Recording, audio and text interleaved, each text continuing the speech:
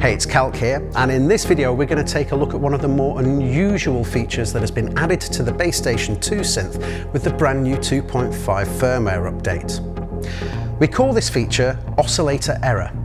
And in this, basically we can add a little random pitch control to the oscillators every time a key is pressed.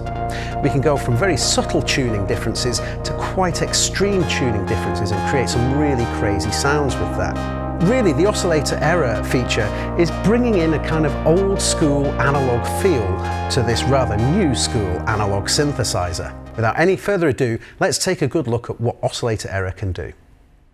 Let's take a quick listen and I'll simply just set up a very quick sequence.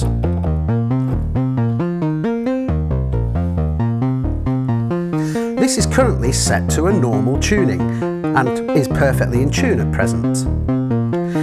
If I turn on the oscillator error, I press function and double tap the C sharp directly under the pitch bend range. Now I can choose different oscillator error values. You can hear now on a light error that we're getting a nice slight randomization of the pitch.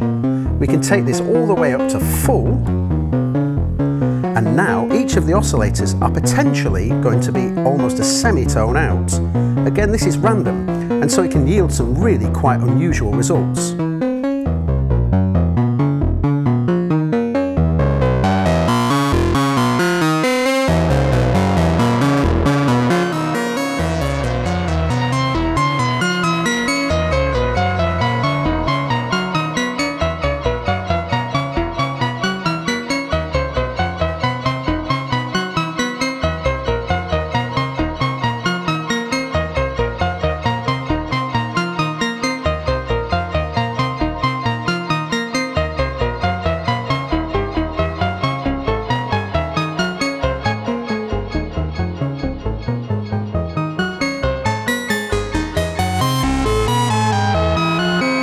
That was a good look at one of the key brand new features that we've added to the Bass Station 2 in the 2.5 firmware update.